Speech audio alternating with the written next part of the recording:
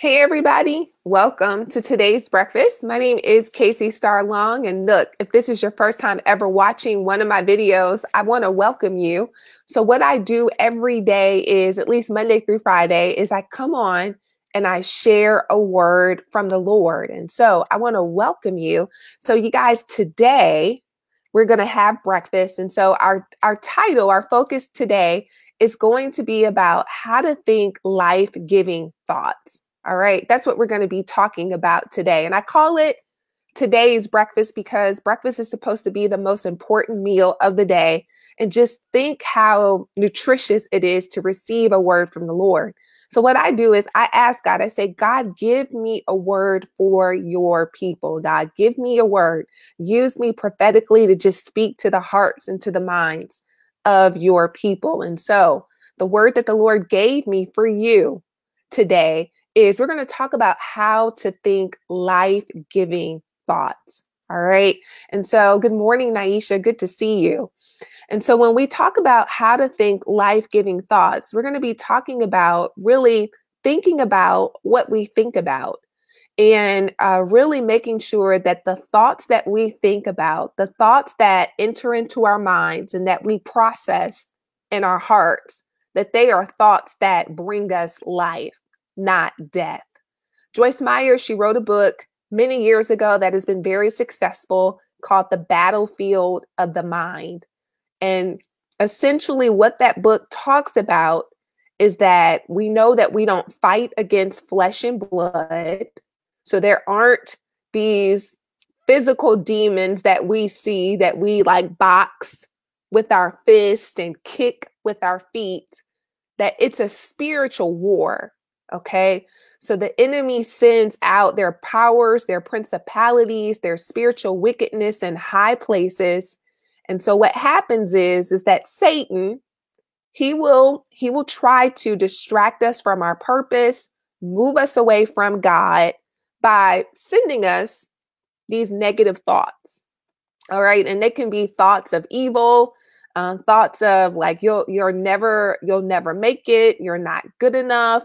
You know um, everybody you know doesn't like you. You know these are just some examples of just negative thoughts that the enemy will try to bring into our minds. And so we're going to talk about how do you think life-giving thoughts because what happens is is if we consistently listen to the enemy with those negative thoughts we'll find ourselves paralyzed we'll find ourselves stuck and we will find ourselves not doing the things that God has called us to do. Now, there's a scripture in Proverbs 23 and 7 where it says, So basically, as a man thinketh in his heart, so is he. And so, what the writer of Proverbs is saying is that basically, how you think about yourself, how you think about whatever situation, um, that's how it will manifest. That's how it materializes. And so recently, um, I found myself, and you know, even though I teach a lot about power thoughts, I know that this is an area that the enemy always tries to get me in my mind. And so I kind of feel like, you know, this is an area of expertise that I do a lot of teaching about, you know, just thinking the way how God thinks. And so even though um, as a Christian and um, as a Bible teacher, I still have to be really careful um, and really stop and think about, you know, what I am thinking about. Like, is this thought true? So I'm going to share with you um, what I do and what I've had to do recently um, just with my thoughts. Okay. And so because one of the things about today's breakfast is we always want to just hop right into what God is saying. And so our scripture, it's going to come from Philippians chapter 4 and 8. And so I have it up on the screen, but I'm going to read it to you, okay? And this is the apostle Paul and he's talking and he says, "And now dear brothers and sisters, one final thing." So Paul is about to teach us how to think life-giving thoughts. He says, Fix your thoughts on what is true and honorable and right and pure and lovely and admirable.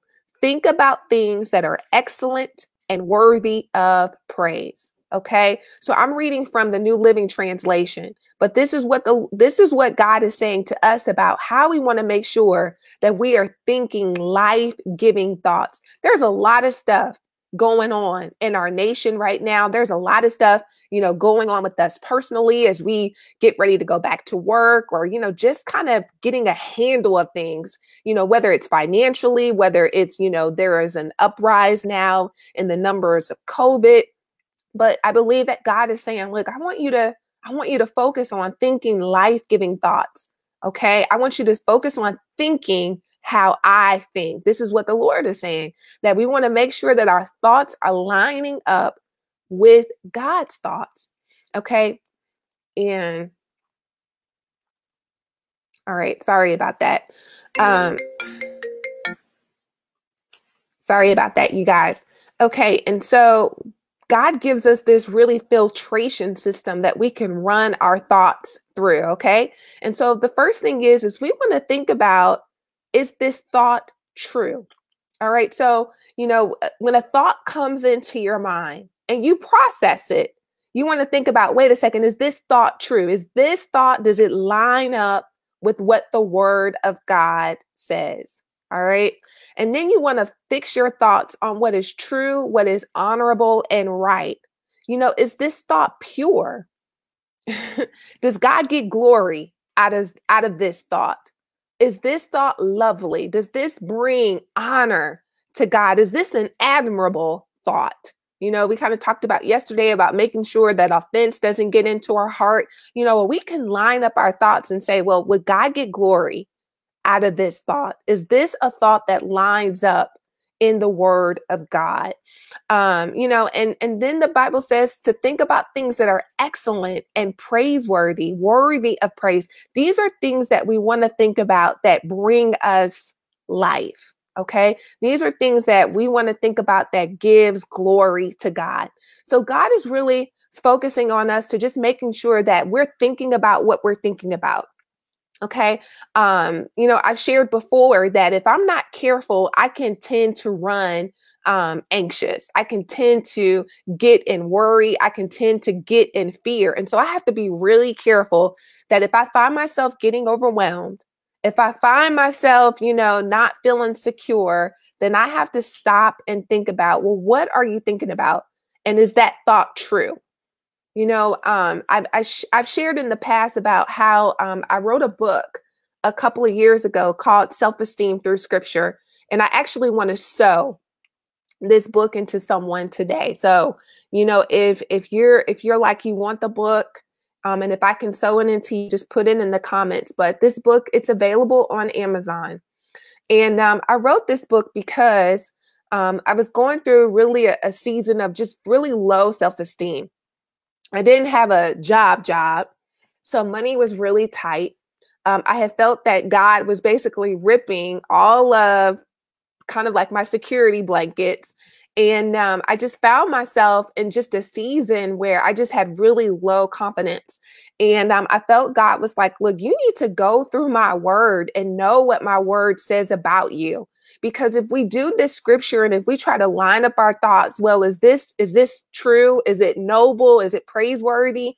Well we got to get in a position where we know what god's word says about us. So i took some time and i just studied the word of god. And basically, this is a devotional self esteem through scripture where it tells you what God's word says about you. And there's a devotional reading that you can do every day. And what it the purpose is is to just build up your self-esteem through the word of god. So i believe that the enemy he uses this time to make people feel that they're not enough that you know you're lacking something um tr- he uses this time to bring in anxiety or fear fear about god's provision all of that to make us scared to make us feel stuck you don't want to move, you know, because I'm like, I don't know if I'm going to do do it the right way. But whatever it is, I really believe God is like, look, you need to think life-giving thoughts. Because what happens is, is that when we focus too much on what the enemy is saying, then we become paralyzed.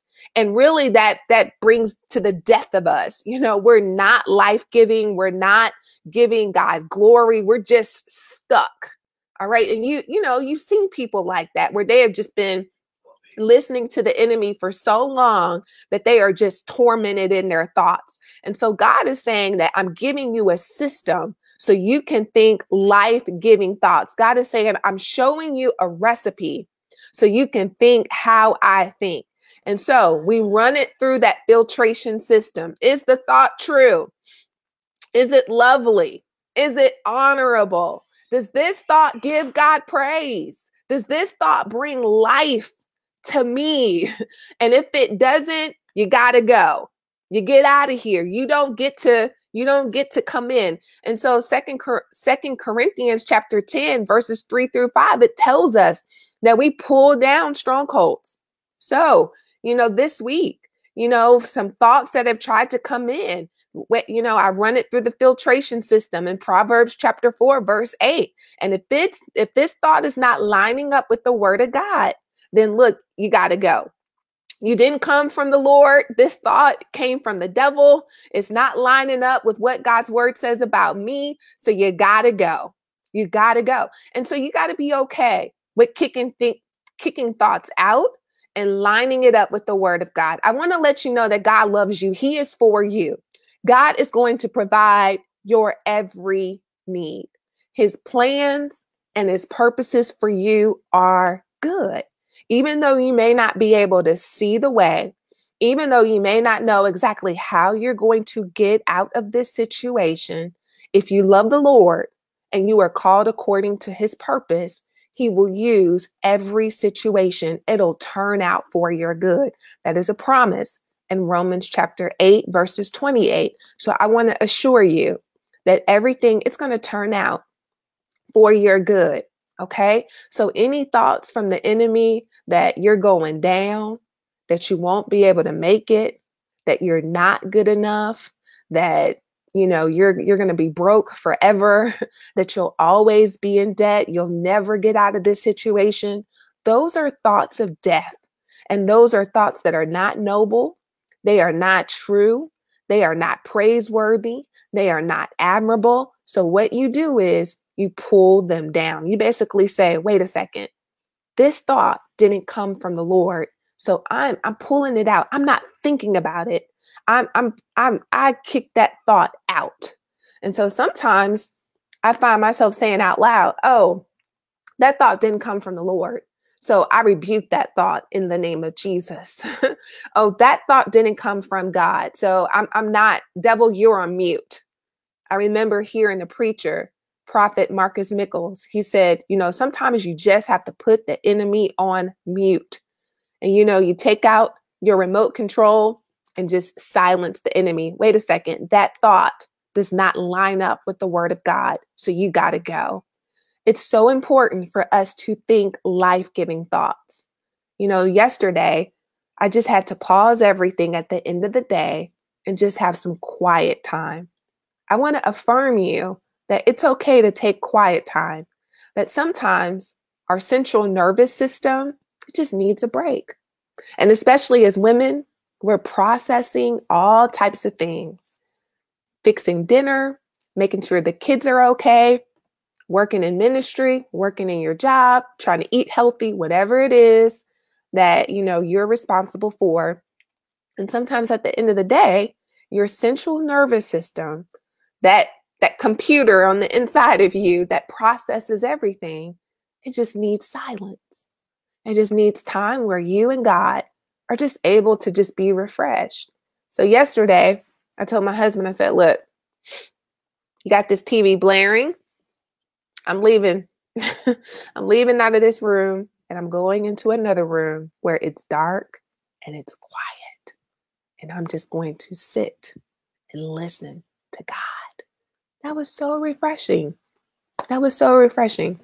And so having that time where you can just sit with God and just be like, God, I know you love me. God, I know you are for me. I know greater is He that is in me than anything that is in this world. I know, God, I am more than a conqueror. God, I know all things work together for the good of those who love the Lord. Lord, your name is a strong tower. The righteous run into it and are safe. You know, you just spend that time in the presence of God. And that is pouring life into you, pouring life into you.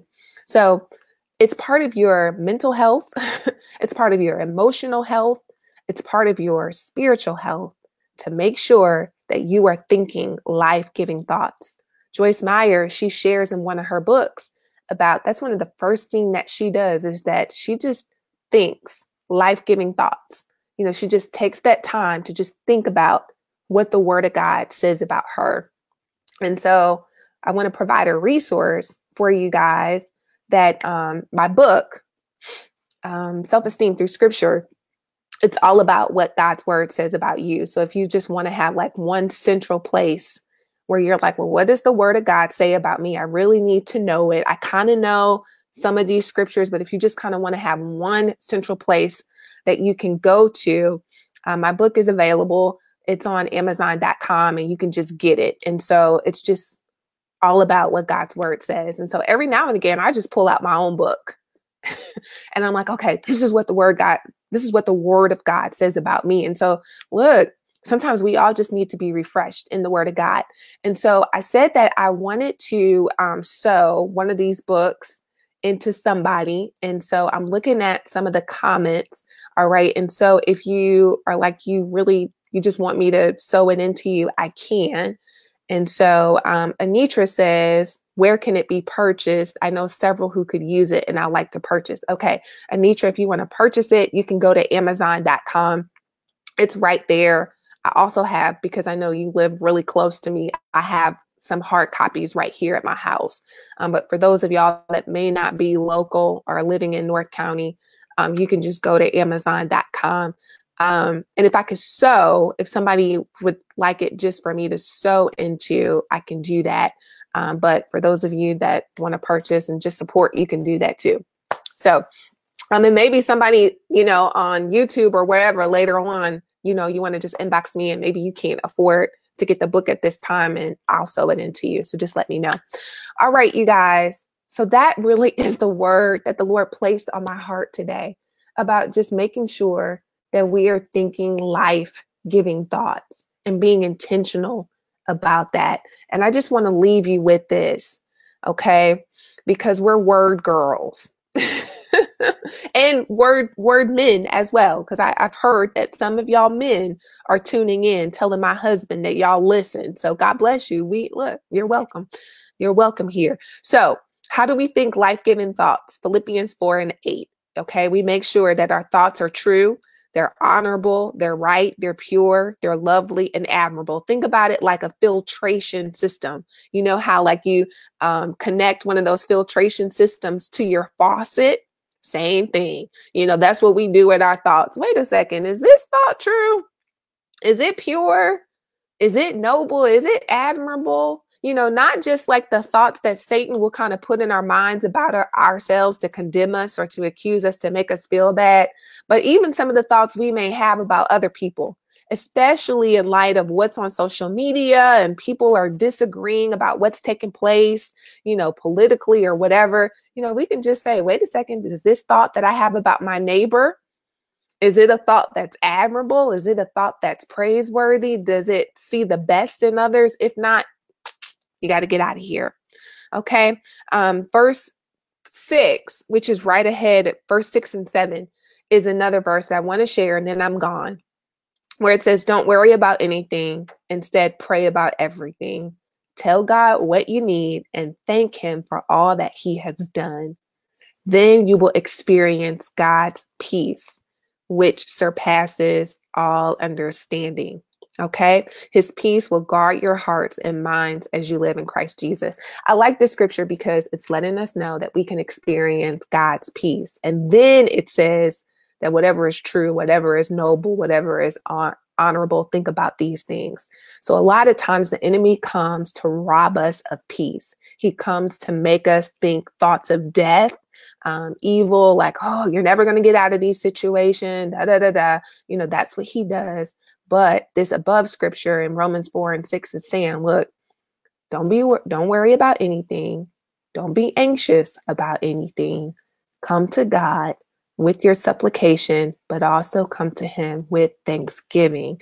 And the peace of God that surpasses all understanding will guard your heart and mind in Christ Jesus. So that's another tip, too. If you feel like you just need peace, you need peace in your mind. So I want to pray for you guys today, okay? Heavenly Father, God, I thank you. I thank you, Lord, that peace is our portion. Now, Father, I pray for every person watching this live, God, whether they're watching live, whether they're watching the replay. Father, I pray right now over their minds in the name of Jesus. Father, I take authority, God, as your daughter, God, and I cover, Lord, every person's mind with the blood of Jesus. God, we rebuke, God, we bind, God, every demonic thought that has been planted by the enemy. Father, I pray, Lord, for discernment and revelation, Father. I thank you, God, for quick revelation that, God, they will be able to discern whether this thought has come from you or whether it has come from the enemy. Father, I thank you that, Lord, their feet are, are set square in the foundation of your word, Father. I thank you, God, they will be ruthless when it comes to their thoughts, God, that Lord, if it didn't come from you, then God, Lord, they boldly, they confidently, without a doubt, they pull it down in the name of Jesus. Father, I pray, Lord, um, that they always have on their helmet of salvation, Father. So that way, God, when a negative thought comes in, it just pings off their armor. God, I pray, Lord, for the breastplate of righteousness. God, I thank you, Lord, for the sword of the Spirit, which is your word, God, that comes out of their mouth. Father, I thank you, Lord, for the shield of faith that quenches every fiery dart in the name of Jesus. Satan, you are a liar. God, I thank you, Lord, for life giving thoughts. Father, I thank you that your word comes alive. It bubbles up in their belly, Father. I thank you, Lord, for the power of the Holy Spirit that brings to remembrance every word. Father, I thank you, God, that they are victorious. God, I thank you, Lord, that they are more than a conqueror. Father, I thank you, Lord, that they are mighty and they will do great exploits for the kingdom of God. Father, I thank you, Lord, for the creativity, Lord, that is welled up in their bellies. Father, I thank you, Lord, for blessing and establishing the work of their hands. Father, I speak diligence. I speak discipline. Father, I speak focus. God, I pray that their eyes are set like flint, God, that they will do, that they will achieve the things, Father, that you have called them to do. Father, I thank you, Lord, that every demonic thought that says that they can't do it, that they won't do it, that it'll be too hard, that they don't have the money. Father, I thank you, Heavenly Father, that every spirit of fear, it is broken right now in the name of Jesus. Father, I pray, Lord, for a great anointing of grace. Father, I pray, God, a double portion of faith, God. Lord, fill them up with faith, God. I pray, God, that you give them a desire to hunger and thirst after your word. Father, I thank you, Lord, for an anointing to memorize scripture, God. I pray that, God, they will eat your word, God, that the word will be ingested in them, God, that they will know, God, that they can do all things through you, God, who gives them strength. Father, I thank you, Lord, for the next level of authors, God. I thank you, Lord, for the next level of business owners, God. I thank you, Lord, for every God given dream, Father. Now, Lord, I speak, Lord, to the dreams and the desires, God, that you have placed in them, God, that maybe it has lying dormant, God, because, Lord, they were thinking the things of the enemy. But, God, I pray that, Lord, you bring it up to remembrance, Father. I pray, Heavenly Father, God, that they will just run on faith and say that I will do it, that I can do it, I will do it, Father. I pray, God, Lord, for a can do spirit Spirit, God. I pray, Heavenly Father, God, that you will breathe on them. God, breathe on us in a way that only you can, Father. Lord, I pray, God, that you break every barrier, every partition that the enemy has set up that has said that, Lord, we can't do it, that they can't do it. But Father, I thank you, Lord God, that your word is true, God. I thank you, Heavenly Father, for your grace. I thank you, God, for victory, God. I thank you, Father, that we finish strong, that they finish strong, God. And so, Lord, I thank you, Lord, that our minds, God, are set on you. I thank you, Father, that we think how you think, Father. And so, Lord, I pray, God, that you sit in our thoughts. That God, you just you just take seat in our thoughts, Father. I pray, God, that you get comfortable in our thoughts, Father. And I speak over the mental he- headspace and airspace, God, over every viewer, God. I thank you, Lord, for your love. I thank you, God. Your word says in Zephaniah 3 and 17, God, that you rejoice over us with singing. Father, I pray that every person can hear you sing your your words of approval your encouragement god may people feel encouraged today father i pray god people will feel encouraged today god to keep going to not give up to persevere father i pray that you release ministering angels god to clap to encourage God, people to continue to go on. I pray, God, that you'll use us to encourage other people as well, God. I pray the gift of exhortation, God, encouragement God, to move in faith in Jesus' name. Y'all, I want to let you know that you can do it. I want to let you know that God had you watch this video for a purpose, that He wants to transform your thoughts, that He is aligning your thoughts so that you think about yourself the way how He sees you. That's all it is, is that God wants you to see yourself the way how He sees you. He's deposited creativity. He's deposited greatness. There are skills and talents on the inside of you.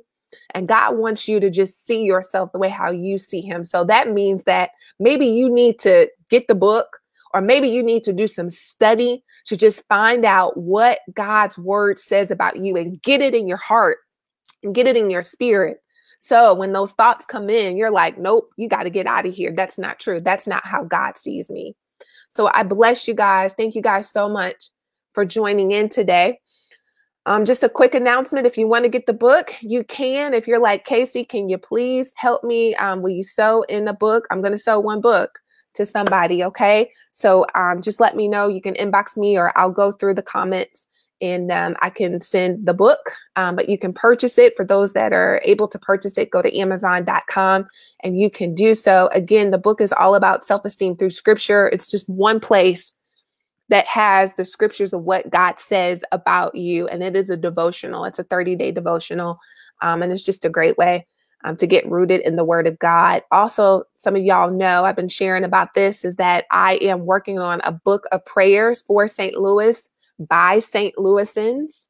So that means that we all are contributing to this book. So I'm asking you to please submit a prayer uh, to be published inside of this book called When St. Louis Prays. And you can send your submission to www.whenstlouisprays.com.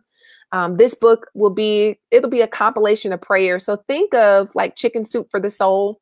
It's going to be like that. And so I'm asking for children, I'm asking for adults. You do not have to be a pastor. You don't have to be some gifted writer. We have um, editors that will help if there are grammar issues, but I'm just asking for you to write out a prayer, write out your heart, whether you have a heart for kids, teens, businesses, ministries, the church, um, whatever it is, just write out a prayer and um, please do that. So we do have a deadline submission of July 31st. So that'll be great. All right, you guys, God bless you. All right, I'll be back tomorrow for more breakfast. Bye.